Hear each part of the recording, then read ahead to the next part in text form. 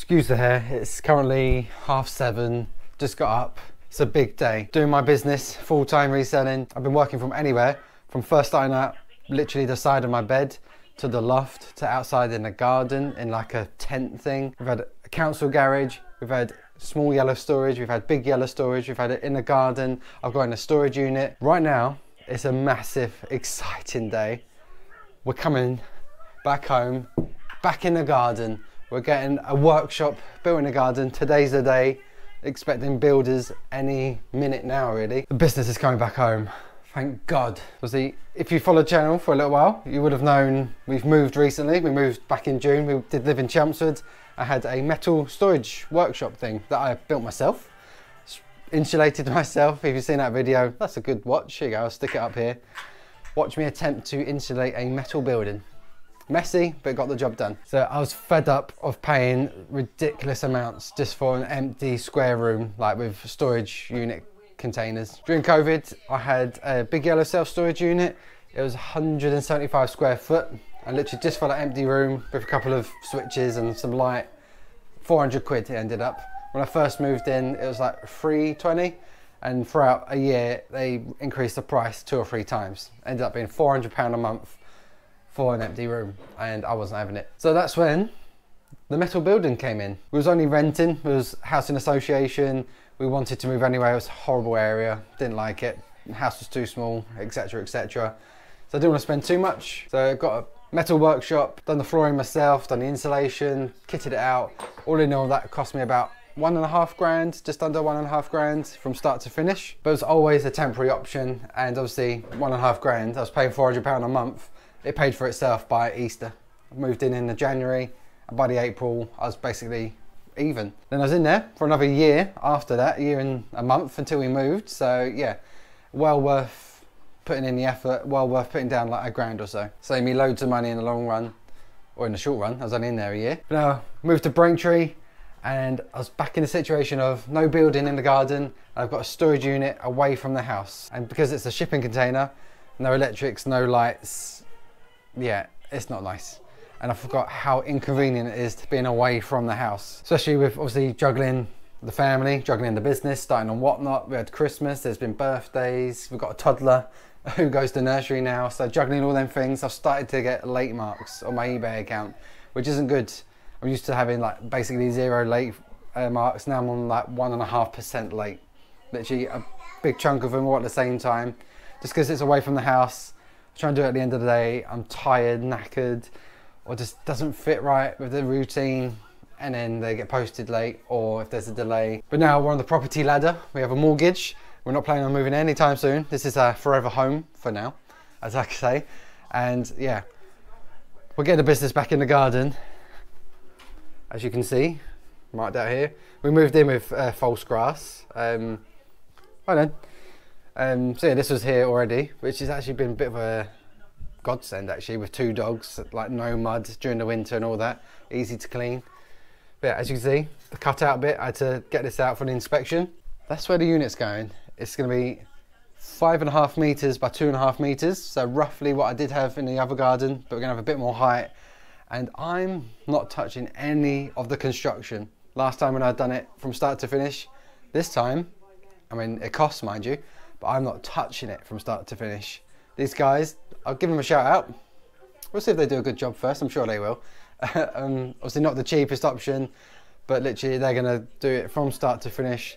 The groundwork, obviously the base, building it, insulation, lights, electrics, literally everything. All I got to do is paint it afterwards. I'm sure I can handle a bit of paint. So yeah, they literally do any minute. Gonna do a bit of a vlog of the build and everything. So yeah, we'll see how it goes. I need to go get ready and I'll see you when they turn up. They're here, they're here. I'm not ready still, but they're here. Just opening the gate for them. It's happening, it's happening. Let's open the gate. So yeah, here we go. It is officially building time. So here we go. It is officially started. Laying the base down, timber base. Just once they've laid it out, I've got to just confirm the position. And then they start erecting. I'm in a duck. And then they start erecting it. Don't know. Well, it's booked for two days Wednesday, Thursday. Today's Wednesday, obviously. So I don't know if it'll all get done today. There's insulation, there's I think flooring to go down and stuff. So yeah, will probably be the full two days. Wouldn't be surprised. But yeah, it is officially started. Got the builder's tea on for the lads. I'll be the maid serving biscuits and tea and coffee or whatever all day. Make sure they're hydrated and refueled. Building my shed. Yeah. Just sort of see how this video goes. See the progress they're making. Do a few time lapses maybe. Um, but it's the resale summit week and I'm gonna get my hair cut.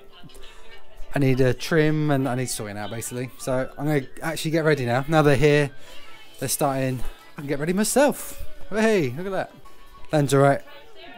He's got his tablet, got his toys, he's sorted. So what then?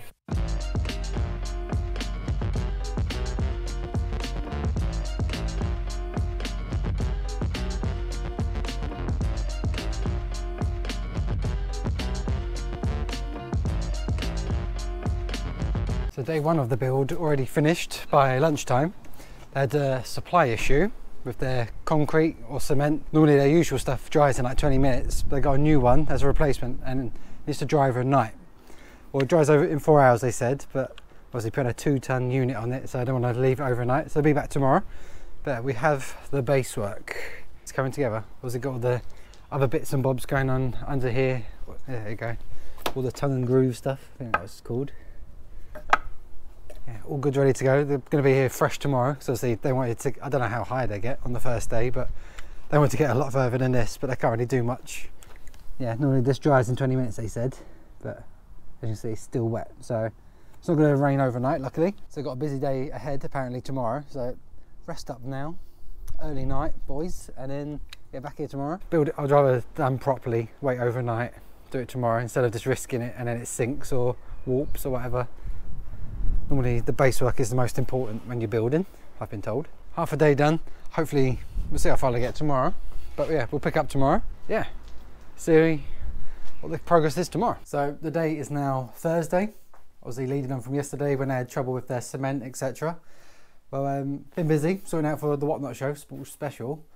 The builders today have been and gone, and look at the state of it now. Boom! It is well, the outside, the shell is fully erected. Let me come and show you. Let me show you. They're coming back tomorrow for a third day, which was an option anyway, because of the delays on the Wednesday. So come back to finish. But yeah, look, it is up. Look at this beaut. I don't had to touch nothing. Groundwork, building it and insulating it. There you go, it's the insulation. Got a proper hard floor going down as well, like laminate flooring. There's my insulation for the roof and for the floor. Look. Proper solid wood. Look at this. No metal sheeting, pure thick wood. Look at the thickness on that. Love it. Yeah, nice gap so I can get around, do my painting, protect it for years and decades to come, hopefully. Very good. Let's check the inside out. I've got to be careful because I might go through the floor. Yeah, proper double glazing and all. Very good. Proper key and lock. Welcomed to the new tat tent. Well, I need a new name, it's not a tent. Echo! Echo! Yeah, so size wise, so the unit itself is um, five and a half meters long by two and a half meters wide, slightly bigger than my metal shed that I had, the proper tat tent that I done myself. But yeah, so much taller that I can actually stretch to touch it. Uh, and then at the ends, whoa, I'm literally balancing on beams right now, so hence why I nearly fell. So yeah, nice height to it. Don't feel like I have to do that like any other unit at the old house. I felt like I had to do that the whole time. Good. Stretch. So good. Well, really, really happy with it. Hoping that's going to be the whatnot show type area slash YouTube shows. Can pimp out the back wall, have my rails and that do the shows from there. So yeah, so tomorrow they still got to come back to do the insulation and the floor. And then next Wednesday is the electrician because it's not just going to be a, a shell and then that's it. I'm having the full lighting fixtures put up, having electronic plugs put in, like a proper like summer house type thing, like you could live out here. Uh, I'm sure it'll be my dog house whenever I get in trouble, sleep out here. But um, yeah, really, really happy so far. Obviously, not the cheapest of things, not the cheapest company or anything, but with their like, repu- like reputation and the quality and yeah, just everything they do from start to finish, I think it's well worth the investment. So price-wise, what did I pay? We'll get onto that in a bit.